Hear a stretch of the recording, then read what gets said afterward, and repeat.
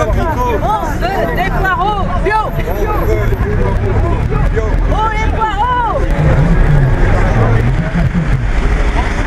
Surpêche et surconsommation, surpopulation humaine et soutien à tout prix de la croissance économique augmentant les rejets de CO2, espèces envahissantes, sans oublier bien sûr le changement climatique.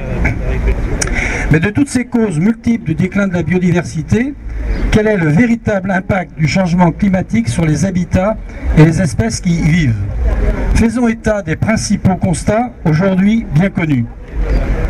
Fonte de la banquise, des glaciers avec le déplacement de l'ours polaire vers des zones habitées alors que la taïga progresse à pas de géant au détriment de la toundra. Déséquilibre de la chaîne alimentaire dans l'Antarctique, menaçant les manchots avec la régression du krill. Menace sur la mangrove, due à l'élévation du niveau des mers. Destruction des récifs coralliens, souffrant de l'acidification des océans. Avancée des déserts dans de nombreux points du globe, Sahara au Sahel, désert de Gobi. Modification des aires de répartition des cultures et de la forêt et bien entendu des espèces sauvages qui y sont associées compétition entre espèces, déplacement vers des zones plus favorables, espèces méridionales progressant vers le nord, et présence d'espèces exogènes à risque pour la santé humaine, moustiques tigres, chenilles processionnaires. Décalage ou déplacement de la fourniture de la nourriture, modifiant le comportement des espèces migratrices, provoquant même des conflits entre elles. Mais quelles sont aussi les ressources de la biodiversité pour résister à une telle problématique? Et avons-nous, chacun d'entre nous, à notre niveau, des possibilités d'agir pour limiter l'augmentation des températures et diminuer l'érosion de la biodiversité pour la défense du vivant Pour contenir le dérèglement climatique, la nature est pourtant notre principal allié, pour ne pas dire notre seul allié, à condition bien entendu qu'on la respecte et qu'on la maintienne dans l'état où les générations qui nous ont précédés nous l'ont laissée. Est-il besoin de rappeler la pensée Nous n'héritons pas de la terre de nos ancêtres, nous l'empruntons à nos enfants. Notre planète a en effet de multiples richesses pour capter le carbone que l'activité des hommes produit chaque jour, tout en sachant qu'au rythme actuel des émissions de CO2 et de gaz à effet de serre, elles ne suffiront pas. Conservons donc nos forêts de feuillus, Améliorons la biologie de nos sols en ne détruisant pas l'humus et la biomasse qu'ils renferment. Ne polluons pas nos océans qui ont la capacité de capter 50% du carbone produit par nos activités. Créons des espaces verts dans nos villes en favorisant la biodiversité avec des zones de refuge comme cela est fait ici à Joigny et où nous sommes dans cette, à cette mare des, du rond-point des nations.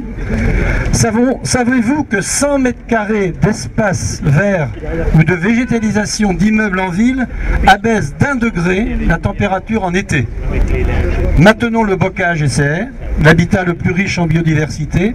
Favorisons les corridors écologiques, garants de la trame verte. Conservons en état les zones humides, les mares, les tourbières, qui sont de véritables éponges pour lutter contre les inondations. Aménageons tout en favorisant la biodiversité les bassins d'eau pluviale qui permettent également de rafraîchir les cités. Des exemples dans notre département de Lyon vous seront donnés tout au long de la marche par des prises de parole de plusieurs d'entre nous. Cependant, c'est bien au niveau des États et des dirigeants de ce monde, sans oublier les entreprises, que les décisions doivent être prises. Et l'exemple est venu dès la fin de la septième session de l'IPBES, avec une charte de la biodiversité adoptée le 6 mai à Metz par le G7, soit les sept pays les plus industrialisés de la planète, et où le rapport de l'IPBES a été présenté au ministre présent. Aucun d'entre eux n'a cherché à minimiser l'importance des enjeux et des défis, et des défis à venir. Soyons attentifs à ce que les engagements soient tenus et maintenons la pression pour qu'ils le soient. Pour conclure, et revenir sur le rapport de l'IBES, celui-ci reconnaît aussi l'importance d'inclure différents systèmes de valeurs, intérêts et visions du monde dans la formulation des politiques et des actions, en veillant à ce que la, participation des peuples autochtones et des communautés locales soit pleine et effective dans la gouvernance et prise en considération. Des jeunes leaders d'opinion mondiaux jusqu'aux grèves des étudiants pour le climat, il y a une vague de fond qui montre que les jeunes comprennent qu'une action urgente est nécessaire si nous voulons assurer un semblant d'avenir durable. Il nous faut donc un sursaut citoyen, quelle que soit notre situation, pour aller de l'avant, en prenant toutes les mesures nécessaires pour améliorer l'état de la biodiversité. Le temps des controverses sur les causes et les remèdes doit être dépassé pour laisser place à l'action responsable. Nous devons y mettre toute notre volonté afin d'alerter sans relâche sur cette perte régulière de la biodiversité alors que celle-ci devrait être totalement intégrée dans les enjeux de notre société. En cette fin de semaine de la fête de la nature, prenons tous ici l'engagement. Même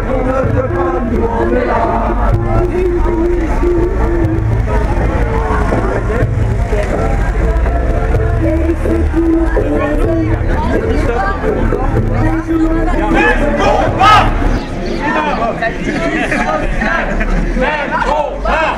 Climat Justice sociale Même combat C'est ce que je Social Même combat Social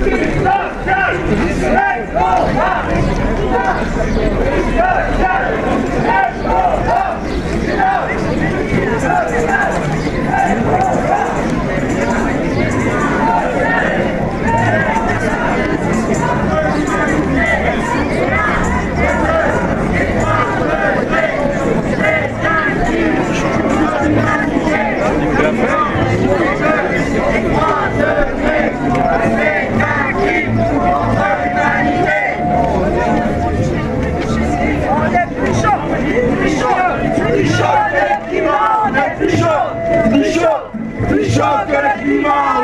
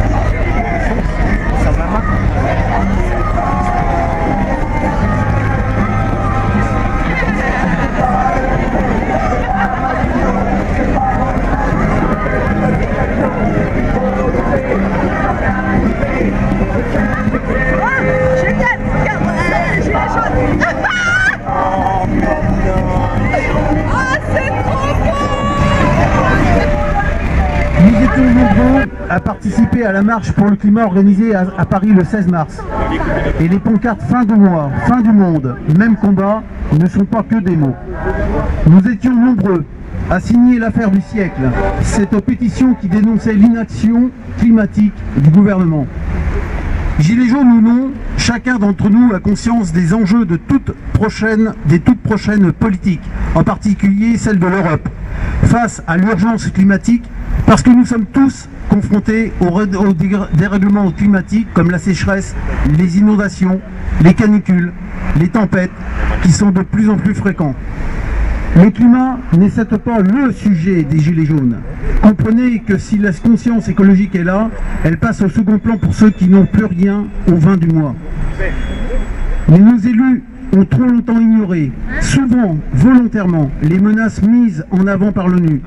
Volontairement parce que le poids des lobbyistes pharmaceutiques, comme les pesticides par exemple, industriels, comme les privatisations des énergies naturelles, etc., et les fraudes des financiers sont autant de freins qui empêchent l'ensemble des nations, à commencer par notre vieux continent, d'investir massivement alors que nous en avons les moyens, dans la lutte pour la préservation de l'écosystème, de notre écosystème.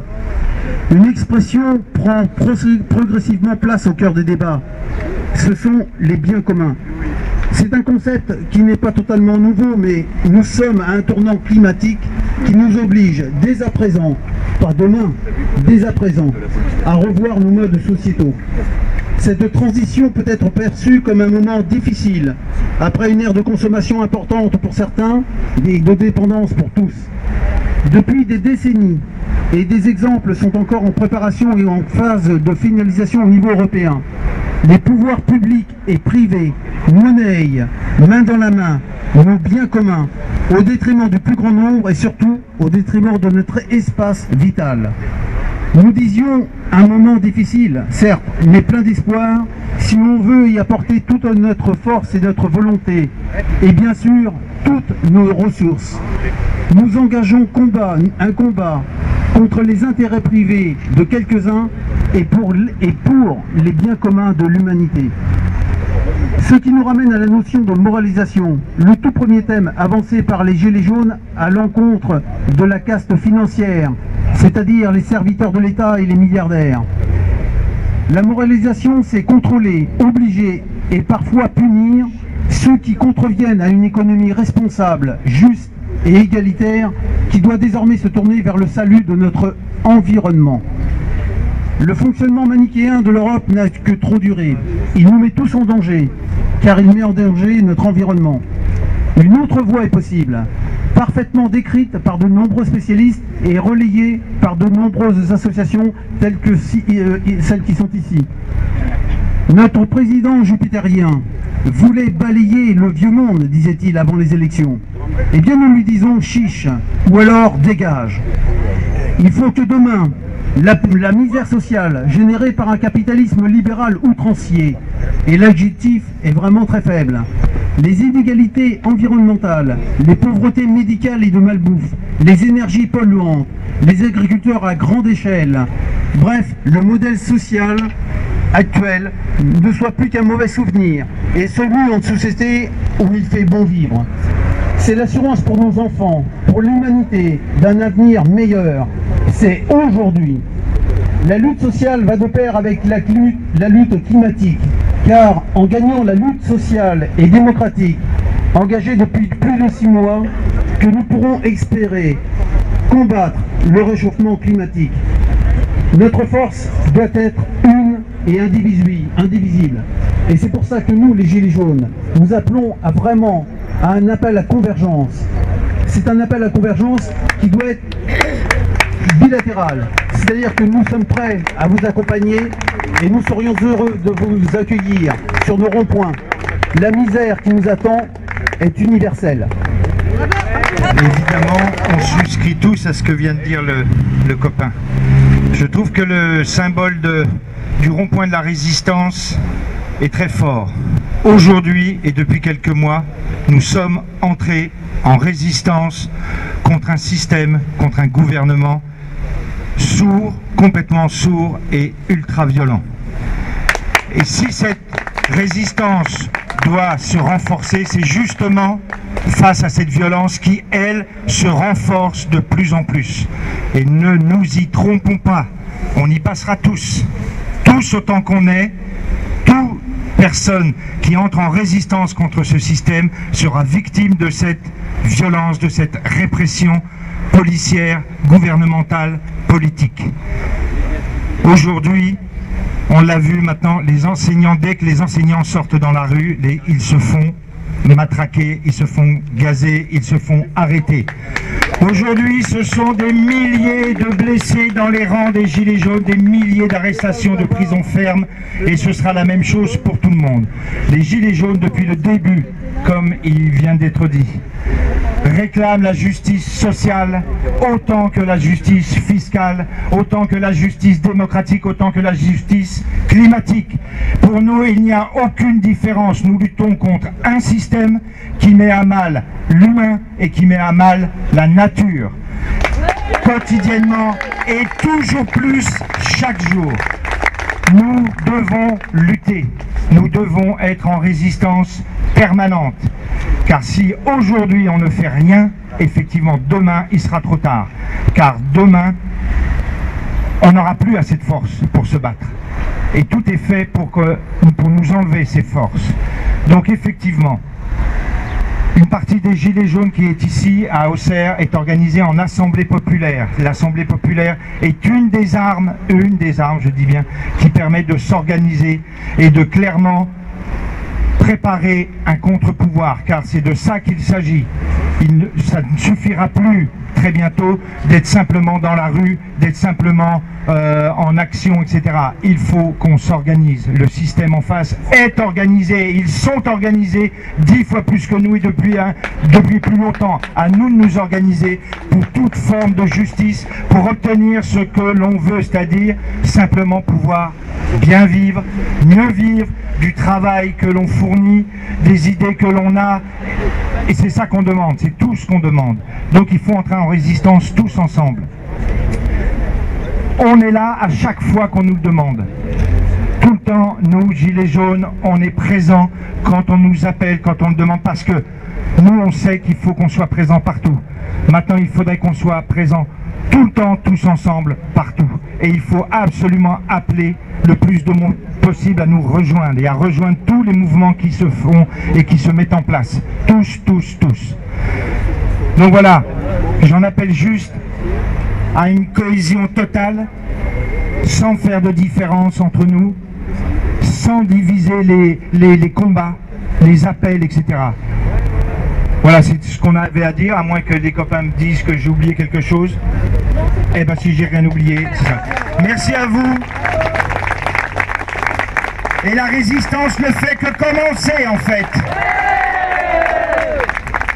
Merci à- aux Gilets jaunes de Sens et d'Auxerre qui sont venus donc prendre la parole sur ce rond-point de la résistance. Donc nous allons continuer. Alors, nous n'allons pas... rem- Pause. Contre nous de la tyrannie, l'étendard sanglant élevé, l'étendard sanglant élevé. Entendez-vous dans nos campagnes, mugir ces féroces soldats qui viennent jusque dans nos bras, égorger nos fils et nos citoyens, formez vos bataillons, marchons, marchons, qu'un sang imbu, abreuve l'océan. Merci. Initiative nationale. Et un, et deux, et trois degrés, c'est un contre l'humanité.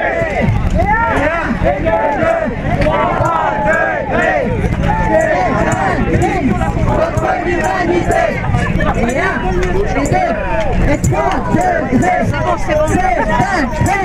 contre l'humanité. Et un, et deux, et trois. C'est un crime contre l'humanité. Et un, et deux, et trois.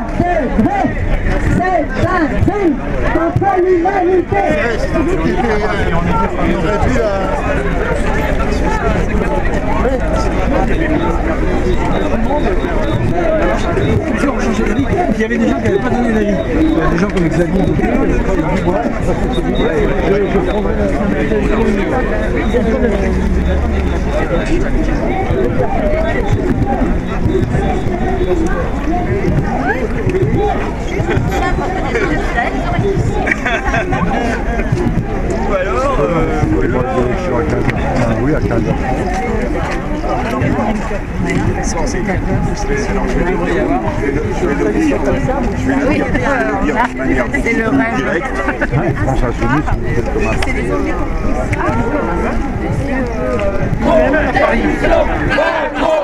démission, Macron, démission, Macron, démission, Macron, démission. Nous sommes gilets jaunes et nous lâcherons rien. Tous ensemble, tous ensemble, ouais. Ouais. Tous ensemble, tous ensemble, ouais. Même si Macron ne veut pas, nous on est là, on est là, on est là, on est là. Même si Macron ne veut pas, nous on est là, pour le peuple des travailleurs et pour un monde meilleur. Même si Macron ne veut pas, nous on est là. On est là, on est là, on est là. Même si Macron ne veut pas, nous on est là, pour l'honneur des travailleurs et pour un monde meilleur. Même si Macron ne veut pas, nous on est là. On est là